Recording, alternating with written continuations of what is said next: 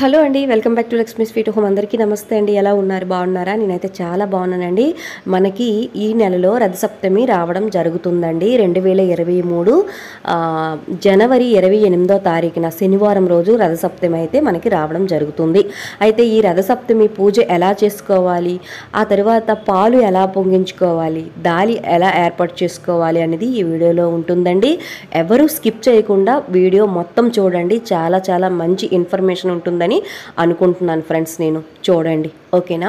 అయితే ఎవరైనా కొత్తగా మన ఛానల్ని చూసినట్టుగైతే ప్లీజ్ సబ్స్క్రైబ్ చేయండి. అలాగే లైక్ కూడా ఇవ్వండి.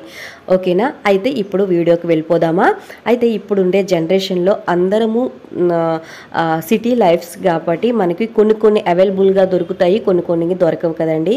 అలాంటప్పుడు దొరికితే మనం దాలి అనేది ఏర్పాటు చేసుకోవాలి. ఇలా నేను దాలి ఎలా ఏర్పాటు చేసుకోవాలంటే ముందుగా తులసి కోట దగ్గర అయితే మనం దాలి ఏర్పాటు చేసుకొని ప్రసాదం అయితే వంట ప్రసాదం అయితే తయారు చేసుకోవాలి. ముందుగా మీకు ఆవు పేడ దొరికినట్టుగా అయితే చక్కగా తులసి కోట దగ్గర ఆవు పేడతో అలికి చక్కగా శంకు చక్రము లక్ష్మీ పాదాలు ముగ్గు వేసి చక్కగా మనం ఇక్కడ కొంచెం మనకి టైల్స్ గట్రా ఉంటే మనం ఇలాగా ఇసుక వేసుకొని ఇసుక పైన మళ్ళీ ముగ్గు వేసుకొని చక్కగా పసుపు నీళ్ళు కొంచెం చల్లుకొని ఇసుక వేరే దగ్గర నుంచి తెచ్చేటప్పుడు దాన్ని శుద్ధి చేయడానికి కొంచెం మనం పసుపు నీళ్ళు వేసి ఆ తర్వాత ముగ్గు వేసుకోయండి. ముగ్గు వేసుకున్న తర్వాత దాలి ఏర్పాటు చేసుకోవాలి. ఇక్కడ నేను మాకు అవైలబుల్గా నాకు లేదు ఆవు పేడ లేదు పసుపుతోనే చక్కగా అలికి ముగ్గులు వేసుకున్నాను. ముగ్గులు వేసుకున్న తర్వాత మళ్ళీ ఒక టైల్స్ పైన ఇసుక వేసుకున్నానండి. తులసికోట దగ్గరే చేసుకుంటున్నాను చూడండి. ఇసుక వేసుకున్న తర్వాత ఆ ఇసుక పైన మళ్ళీ కొంచెం పసుపు నీళ్ళు వేసి చక్కగా ఒరిపిండితో ముగ్గు వేసుకున్నానండి. శంకు చక్రము నాకు వచ్చినట్టుగా లక్ష్మీ పాదాలు ఆ తర్వాత పద్మ ముగ్గు వేసుకొని ఒక పిడక పెట్టి ఆ పిడక పైన కర్పూరం పెట్టుకోవాలి. మనము సంక్రాంతి రోజు గొబ్బెమ్మలు తయారు చేస్తాం కదండి అవి కూడా మనం పెట్టుకోవాలి. గొబ్బెమ్మలు లేకపోతే ఆవు పిడకలు దొరికితే ఆవు పిడకలతో ఈ విధంగా మనము దాల్ అనేది ఏర్పాటు చేసుకొని పాలు పొంగించుకోవాలి. అయితే ఇక్కడ మనము ముందుగా ఒక పిడక పెట్టి ఆ పిడకలోన కొంచెం కర్పూరాలు ఎక్కువగానే వేసుకోవాలి. కర్పూరం మీద కొంచెం నెయ్యి వేస్తే వేయండి లేకపోతే కర్పూరం కూడా చక్కగా వెలుగుతుంది. ముందుగా ఏం చేయాలంటే ఒక పిడక మీద పెట్టి పిడక చుట్టూరు మళ్ళీ పేర్చుకుంటూ రావాలన్నమాట.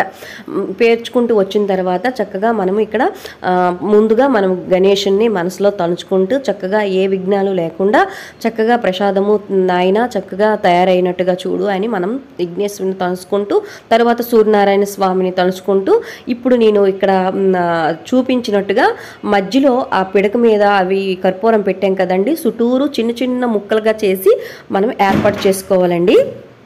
దాలనిది ఈ విధంగా ఏర్పాటు చేసుకోవాలి. ఈ విధంగా ఏర్పాటు చేసుకున్న తర్వాత మనం ఇప్పుడు ఇత్తడి గిన్నె కానీ రాగి గిన్నె కానీ తీసుకుంటే మంచిదండి. స్టీల్ ఇందులో కానీ ప్రసాదం తయారు చేయకూడదండి. ఆ తర్వాత ఇక్కడ నేను కొత్త బియ్యం తీసుకున్నాను. ప్రసాదంకి తయా ప్రసాదం కావలసిన ఇంగ్రీడియంట్స్ అనేది నేను చెప్తున్నాను. ఆవు పాలండి. ఆవు పాలు దొరక దొరకలేనప్పుడు ప్యాకెట్ పాలైనా పొంగించుకోవచ్చు. ఏం చేస్తాము? దొరకకపోతే ముఖ్యంగా ఆ రోజు మీరు ట్రై చేయండి. ఆవు పాలు దొరకడా దొరికినట్టుగా ట్రై చేయండి. తెచ్చుకోవడానికి ట్రై చేయండి ఫ్రెండ్స్. ఓకేనా? చాలా మంచిదంట. అలాగే ఆవు నేతితో దీపం పెడితే చాలా మంచిది. అయితే ఇక్కడ నేను నాకు ఆవు పాలు దొరకలేదు. ప్యాకెట్ పాలతోనే ప్రసాదం తయారు చేసుకున్నాను. ఆ తర్వాత ముఖ్యంగా కంచుగిన్నెకి చక్కగా పసుపు రాసి బొట్లు పెట్టుకొని ఇప్పుడు మనం దానిలో పాలు వేసుకొని చక్కగా స్వామివారిని తణుచుకుంటూ నాయన తండ్రి చక్కగా ప్రసాదం తయారు చేసు తయారైనట్టుగా చూడు తండ్రి అని చక్కగా పొంగు తండ్రి అని మన మనసులో చక్కగా మనం ప్రార్థించుకోవాలి సూర్యనారాయణ స్వామికి గణేష్కి గౌరీ తల్లికి. ఈలే కదా మనకి ముఖ్యంగా. ముందుగా గణేష్ని పూజించి గౌరీ తల్లిని పూజించి సూర్యనారాయణ స్వామికి పూజించాలి. ఈ విధముగా నేను పాలు అంటే అందులో వేసి కంచుగిన్నెలో వేసి అక్కడ పెట్టానండి. ఈలోపు మనము ఈ ప్రాసెస్ తెలుసుకుందాం. ఓకేనా? ముందుగా కొంచెం బియ్యం తీసుకోవాలి. ఎక్కువ బియ్యం వేసుకోవద్దండి. ఓకేనా? ఎందుకంటే ఆవు పాలే మనము నీళ్ళు ఏమీ కలపకుండా ఓన్లీ పాలుతోనే పొంగించుకోవాలండి. ఈరోజు ప్రసాదం తయారు చేసుకోవాలి. ఆవు పాలలో నీళ్ళు ఎటువంటివి కలప కలపకూడదు కలపకూడదండి ఓకేనా? ఈ రోజైతే. ఆ తర్వాత ఇక్కడ ఆవు నెయ్యి ఉంటుంది కదండి. కొంచెం బియ్యం తీసుకున్నాను. ఆవు నెయ్యిలో ఆవు నెయ్యి ఆవు నెయ్యి కొంచెం వేసి చక్కగా ఆ బియ్యాన్ని మనము శుద్ధి చేసుకోవాలి. చక్కగా మనము బియ్యం అంతా స్ప్రెడ్ చేసుకోవాలండి ఆవు నెయ్యితో. చేసుకున్న తర్వాత ఒక పక్కన పెట్టుకోవాలి.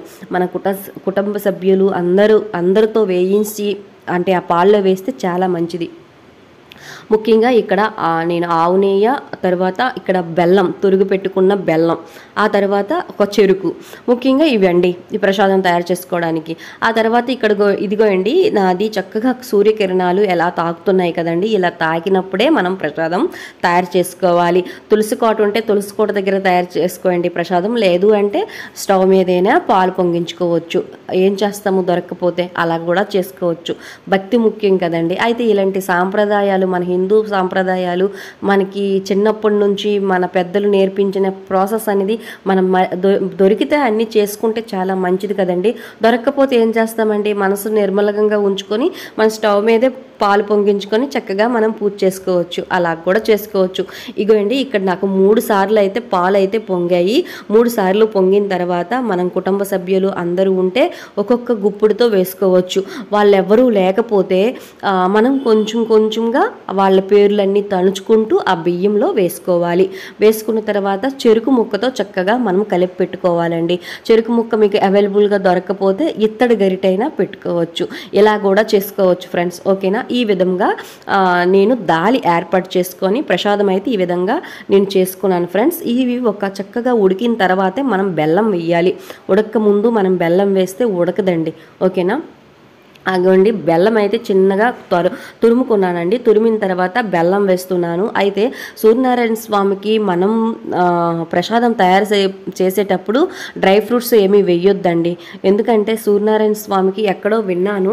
సూర్యనారాయణ స్వామికి పళ్ళు లేవు. అందువల్ల డ్రై ఫ్రూట్స్ ఏమీ వెయ్యరండి ఓన్లీ ప్రసాదం బెల్లంతోని నెయ్యితోనే తయారు చేస్తారండి. మీకు వీలుంటే కొంచెం ఇలాచీ కూడా వేసుకోవచ్చు. నేను ఇక్కడ ఏలకలు కొంచెం వేసుకున్నానండి. ఈ విధంగా నా ప్రసాదం అయితే తయారైపోయిందండి. ప్రసాదం తయారైపోయిన తర్వాత చక్కగా మనము ఈ ప్రసాదం ముందుగా మనం అగ్నిదేవుడికి ప్రసాదం నైవేద్యంగా పెట్టాలి.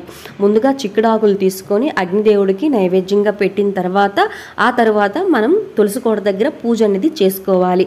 ఈ పూ పూజకి మనకి ముఖ్యంగా ఎరుపు పూజకి ముఖ్యంగా ఎరుపు పువ్వులు ఎరుపు అక్షతలు ఎరుపు ఒత్తులు ఆ తర్వాత ఆవు నెయ్యి ఉండాలండి ఓకేనా? ఈ విధంగా ప్రసాదం తయారు చేసుకున్న తర్వాత అగ్నిదేవుడికి ముందుగా నైవేద్యం సమర్పించాలి. ఈ విధంగా పాలు పొంగి